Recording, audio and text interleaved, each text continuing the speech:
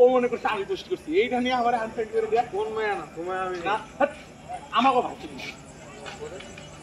ওকে আমাকে ভাই পারে এটা অন্য মেয়ে। কে ভাই তোর কি মনে হয় যে আমার মেয়ের কথা বলার লোক হবে না না না আমার তো ভুল আমি বুঝলাম না। আমার ধারণা ভুল। ভাই অনেক মানুষের সাথে আমার পরিচয় আছে। আমি খালি করি না দেখি প্রকাশ করতে হয় না সবকিছু।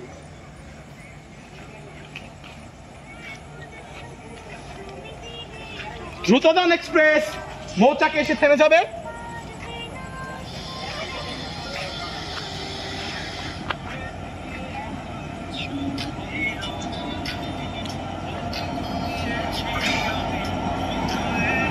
দ্রুত যান।